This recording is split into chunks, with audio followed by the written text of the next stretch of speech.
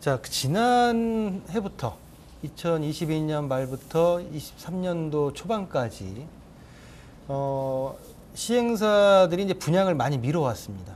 그러면서 이제 이번 하반기 서울 수도권의 이제 분양 물량이 굉장히 이제 많이 풀릴 걸로 예상이 되는데요.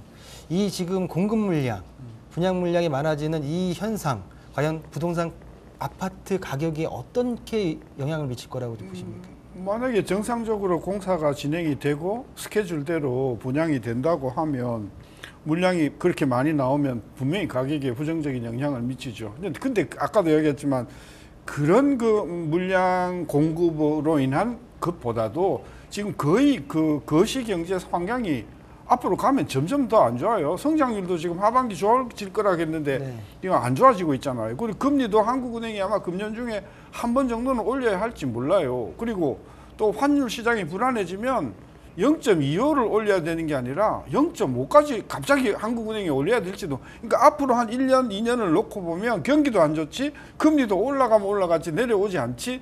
이런 여건으로 봤을 때, 그리고 이제 원가 상승이라든지 이런 요인으로 어, 봤을 때는 저는 그 주택 시장이 전반적으로 저는 굉장히 소강 상태 오래 갈 거다고 하는 음. 생각이 있어서 몇몇 개 그러니까 진짜 현금이 많고 진짜 뭐 이 초거부자들이 접근하는 그런 물량은 경기하고 상관없이 대출 상관없이 가격이 올라가는 거잖아요. 저는 전반적으로 봤을 때 서민용 아파트 공급의 경우에는 저는 가격이 올라가는 게 아니라 저는 대부분 저는 하향으로 갈 거다. 하향으로 저는 갈 것이다. 갈 것이라고 봐서 꼭 필요한 주택이 아니면 전 융자 받아 가지고 어, 어, 이렇게 무리하게 청약하는 것을 자제하는 게 음. 건강에도 제일 좋을 것이라고 보는 거죠.